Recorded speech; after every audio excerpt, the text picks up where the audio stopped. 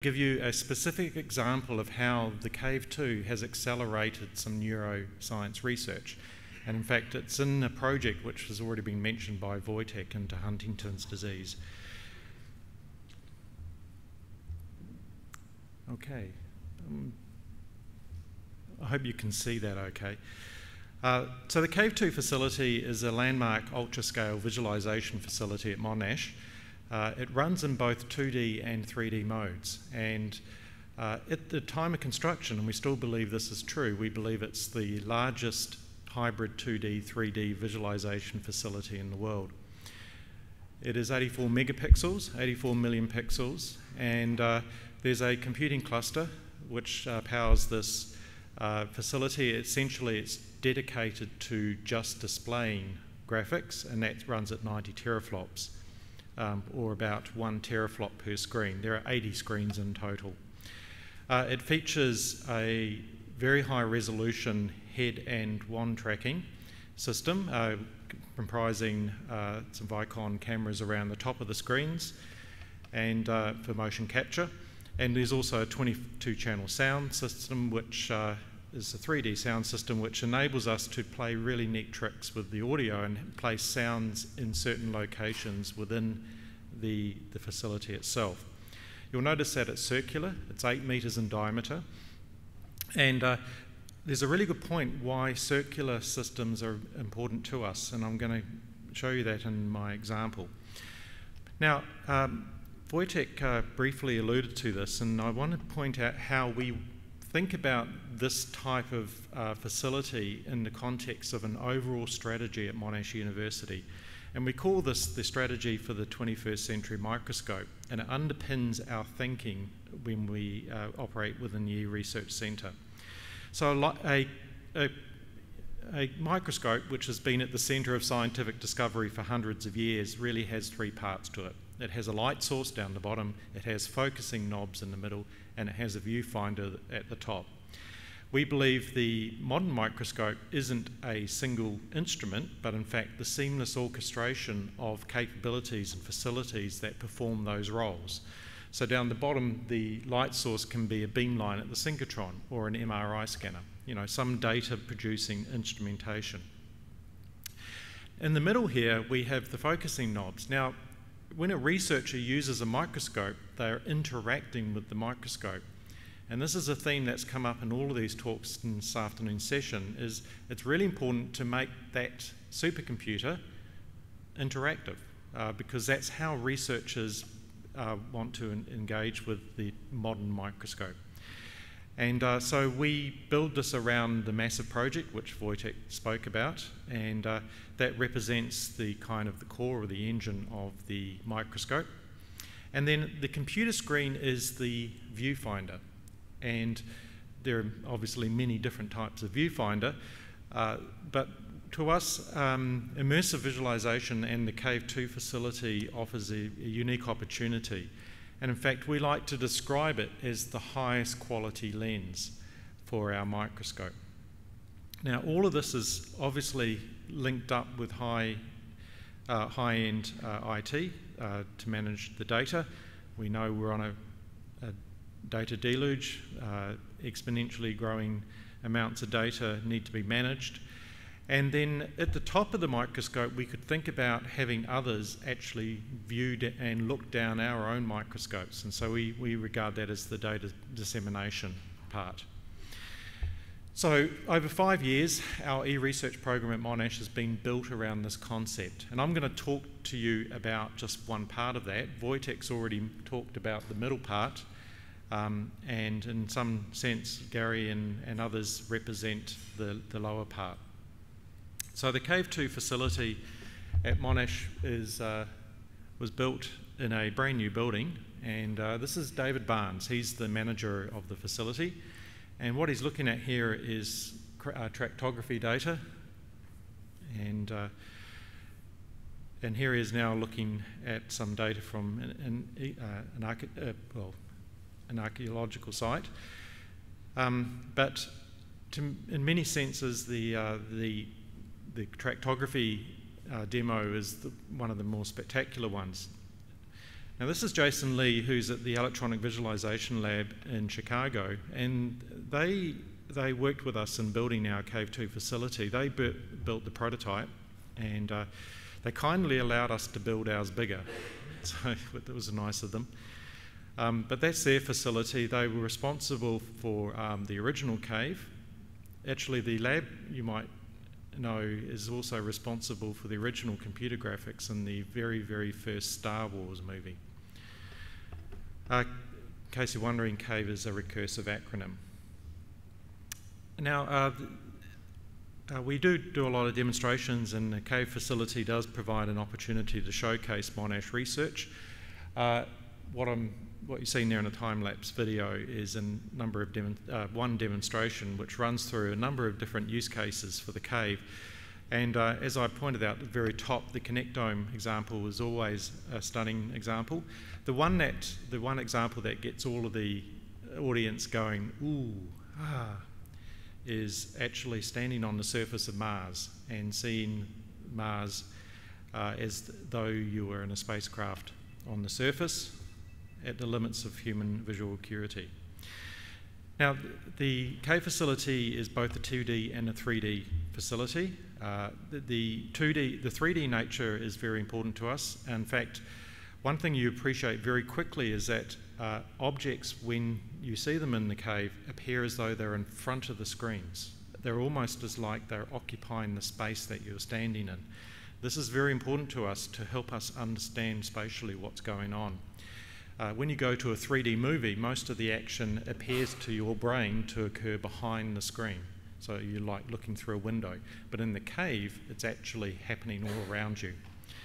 Uh, the architectural firms love it because they can make you feel like you're walking through a room. Uh, but it's also the highest quality lens for discovery. And, um, and a number of our biomedical scientists love it because it enables them to do things they've never been able to do before um, see things at incredible detail, but also within the context of the image. Uh, we have histology images, for example, that 100,000 pixels by 100,000. Um, the researchers in the past could not actually view those on a regular computer screen, but they can in the cave. Uh, some of you might have seen this particular image. Um, it's always a good uh, slide to talk about when we talk about visualization. We think it's underdone uh, in general, and we are working hard to promote its use. Um, because to us, visualization actually helps you discover the unknown unknowns. Uh, there's a famous quote from Donald Rumsfeld, um, which I'll let you read there. Uh, he was talking about Iraq, but um, it also applies to research. Uh, computers if you're applying them in a, um, data mining context, only find things that you know about. They only find things that you know how to find. Uh, visualization provides you with an opportunity to see things that you'd never seen before. And in fact, you could think of it um, like the cave facility as a machine for generating a new hypothesis. Uh, the reason for that image there is half of you, I imagine, can see what's in that image. Um, put up your hand if you see what it is. Yeah, it's about half of you. Um, uh, some of you have difficulty finding it because you don't know what it is. um, but now that I'll tell you that it's a dog. It's a Dalmatian dog. Um, I think probably those who couldn't see it before can now see it. So that's a, my little point about finding the unknown unknowns. Uh, to, to, us, neuroscience represents the exemplar for big data visualization. Um, we've seen it in other domains. Our e-research centre is dedicated to all of the disciplines, but neuroscience is the, one of the most important disciplines for us. Um, but the point here is the humble desktop no longer works. Um, the screen's too small. Um, the bucket's too small in terms of the, the desktop computer is being dwarfed by the big data that's coming off the instrumentation. And when you want to collaborate around the data, you tend to huddle around the little computer screen. Uh, it's also typically in 2D. So um, to us, the, the Cave 2 is the natural place to go to um, to visualize. Uh, as I said, the neurotractography visualization is a very good one for us. It's immersive, it's colourful and memorable. The spatial comprehension dramatically improved over the desktop. For example, as you are swimming through the tractography, you, you really do appreciate the space and the gaps and the, the, the size, the, the, the, sizes of the clusters of fibres and so on. Um, but the one example I'm going to show you now is actually a, a combination of both 2D and 3D. And it's uh, really a good example of how the brain, our human brain, is actually the best pattern processing machine we have. Um, and it really is applied in, um, in very good uh, detail in, in this particular example. So we call this comparative visualization, and this is in the context of the Image HD project. It's a nice little pun, but HD here stands for Huntington's disease. So as Wojtek mentioned, this is a study of 80 subjects. Uh, we've got some controls, around 30 of those, pre-symptomatic around 30, and some sufferers around 20 of those. But we, what we do is we visualize their tractography and we visualize all 80 simultaneously. I'm going to show you a, video of this actually running, um, but I'll point to the, the research, the paper. Uh, as Wojtek mentioned, um, uh, Georgiou uh, Karistianis um, is the, the um, principal investigator on this work.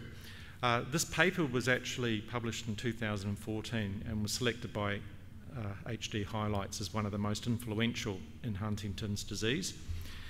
And uh, as I mentioned, it, the idea is, in the context of the cave, is to investigate the structural connectivity in the pre-manifest and the symptomatic studies, uh, subjects, and there's some control in there as well.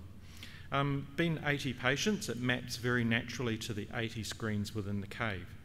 Now, the first point I want to make about the circular nature, when you're in the middle of the cave, um, you see things, you don't see the pixels, you're seeing things at the limits of human visual acuity, so it's like a retina display. Um, but you're also equal distance from all 80 of them, so you don't tend to naturally favour one particular group over another. Um, and so that's why I believe circular facilities are, are actually important. Um, we can sort the brains in any order. Uh, we, we often sort them by um, the onset of the disease or the controls and so on, or we could sort them by age and so on. And uh, David Barnes, um, who led a lot of the visualization work here, prepared this nice video of it running for me. Uh, what I'll do is I'll, I'll run it, it takes about three minutes, and I'll talk to it as it runs. I, I, want to highlight, first of all, you're not seeing a video of the cave in action. You're seeing, just in order to give us enough detail in the video, uh, three columns of the, of the cave. Um, there's a cast of thousands involved. Uh, these are the names of all of the people that were involved in the work and I really do hope this is going to run. How do I?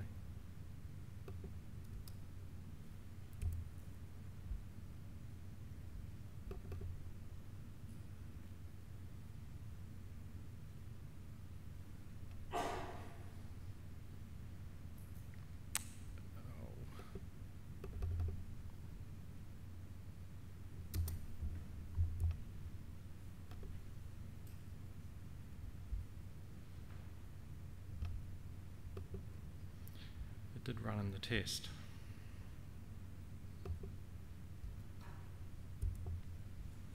This is not my computer, which doesn't help.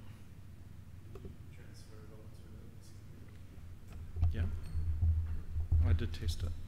Do you, do you have it? Uh, I got it. I do. I've got it on. Yep.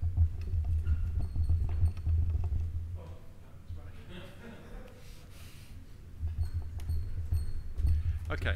So we're seeing uh, three columns of the cave, and then on the left, you're seeing the web interface of the um, th that's running on an iPad that you take with you into the cave. Uh, so here we can, oh, it's a bit hard to see, but here we can choose how many track samples to reveal. There's a single uh, structural brain Uh, but what we've done is we've mapped on the tractography onto of the patient of the studies uh, subjects onto onto the brain, and so we we can choose how many samples. Uh, there are millions of tracks, uh, but we can choose how many of those we wish. Now, what we'll do is now we'll reduce the the uh, the the density of the structural brain um, so that it doesn't get in the way, and then we can start to rotate. Now, when you rotate, you end up rotating all 80 simultaneously. Uh, so here we are moving from the top and then moving to a rear view. Now at the moment, I know it's a bit hard to see, it looks like all of the brains are the same. Um, so what we'll do is we'll pick a particular region and we'll just um, expose the tracks that are coming from that region. Now it's pretty clear that we're dealing with different people. Uh, so we'll just, um, again, we'll rotate to get a rear view of the, of the 80. and uh, and as you can see it's quite clear. Now what I'm going to do is I'm going to show you how the main conclusion in that pub in that research is actually observable within the cave. So the main conclusion in the research is that uh, there is a difference between the controls and the symptomatics uh, when you isolate two particular regions and you look at the tracks now here what we've done is we've now chosen a, uh, two regions and we're looking just at the tracks between those two regions. And we are going to push the number of samples right up because of course we're, we're dealing with a much smaller set of, uh, of links. But now um, and it's probably not very clear to you uh, there are uh, clearly identifiable differences that occur at a group level between the controls and the symptomatics in that um, particular case. And so this has opened up a number of opportunities for us. Uh, we've validated previous research using the cave, but uh, there's other things that the cave's done. It's actually accelerated the research process. Uh, in fact, the, the group talk about how it accelerates the data quality control work time. Uh, what used to take three months in terms of uh, cleaning up the data is now down to two hours. It is just so much quicker to do it when you see everything at once. Um, so as I pointed out, uh, the technology and the approach has been validated um, by the same discovery. So this provides us with hope that we're going to see new observations within and new discoveries within the cave. Um, and that discovery was essentially group level differences between in the pathways between the two regions. Now I know I've got one minute, so I'll wrap up. Um, as I said, the Cave 2 is a hypothesis generation machine, and it's the highest quality lens to look at digital data but it's also an effective communication tool for understanding spatial aspects. Now, I'm just going to throw out there this final slide, uh, maybe some future work. Um, for example, what about using the cave for some sort of neurofeedback type training, having a number of people within the cave with uh, EEG headsets navigating and interacting with what they're seeing. Um, and so we can do that uh, do have them interact with a virtual environment for a group of patients and not just a, a single individual. Okay, with that, um, any questions?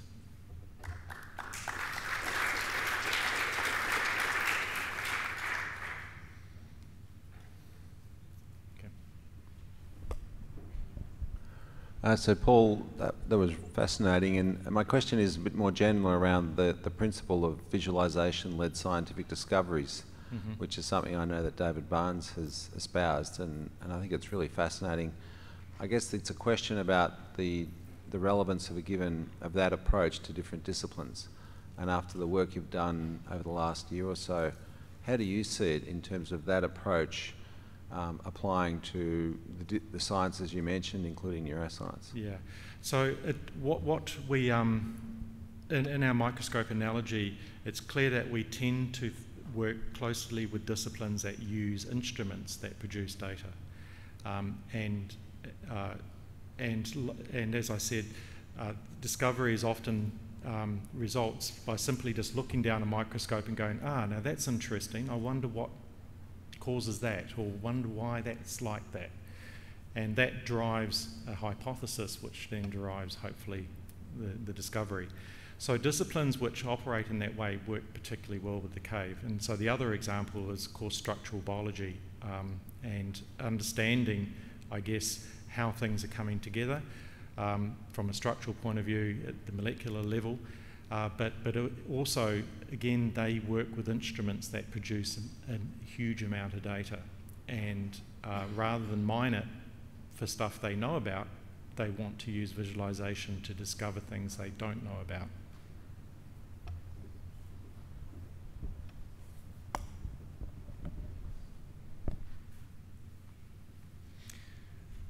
Okay, as chair of the session, um, I think we're going to wrap it up because it is.